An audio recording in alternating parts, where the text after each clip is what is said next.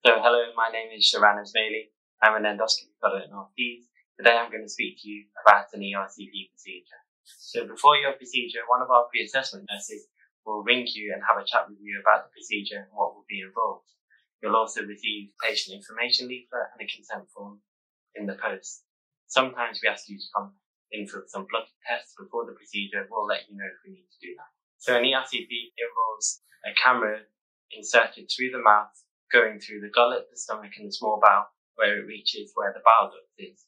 Once we can see the bile duct, under X-ray guidance, we are able to get inside and do various treatments, such as place a stent or remove the stone. So the common reasons for doing an ERCP procedure are to remove stones from the bile tube if it gets stuck, to place a stent and take some samples if there's a narrowing in the bile duct, and to place a stent if there's a leak after a gallbladder surgery. Normally, before we get you down for the procedure, we do different scans, such as an MRI or a CT, to give us some more information so we know exactly what we're going to do on the day. So, what happens on the day of your procedure? So, beforehand, you will have received the time as to when we would like you to come for your procedure. Normally, we ask you to fast for six hours before you come in. On the day of the procedure, you'll come to the reception for the endoscopy unit.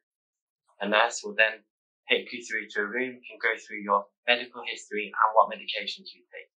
A doctor will go through the consent form with you. You'll have an opportunity to ask any questions at this point in time. You'll then be taken through to the waiting area where you can relax before your procedure.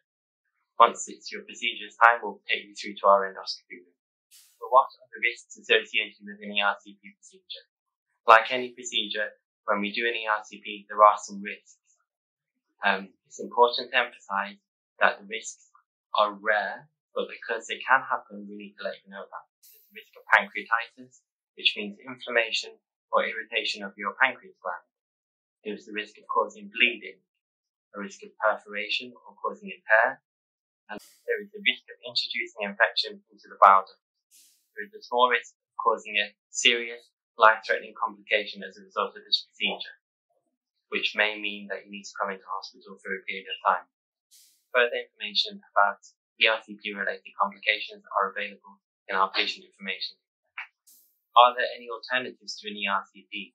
Well, there is a possibility that we can remove stones by means of a surgical operation. This is generally more complex, but if you wish to speak to a surgeon, we can arrange this for you. If you decide not to have an ERCP procedure, then there is a chance that your symptoms may not resolve what happens during and after the procedure. For the procedure, we will give you a medication called sedation. This will help to relax you for the procedure and makes it more comfortable for you. It's important to be aware that you will be conscious during the procedure. The procedure normally lasts between 30 and 45 minutes. After the procedure, you'll be taken to the recovery area where a nurse will keep a close eye on you. Once you're a bit more awake, you'll be able to have something to eat and drink before you go home, one of our endoscopy nurses will go through exactly what happened during the procedure and what follow-up is needed. Once you go home, if you become unwell, you can contact the endoscopy unit for any advice, or out of hours, you can contact accident emergency. If you have any questions, please ask us.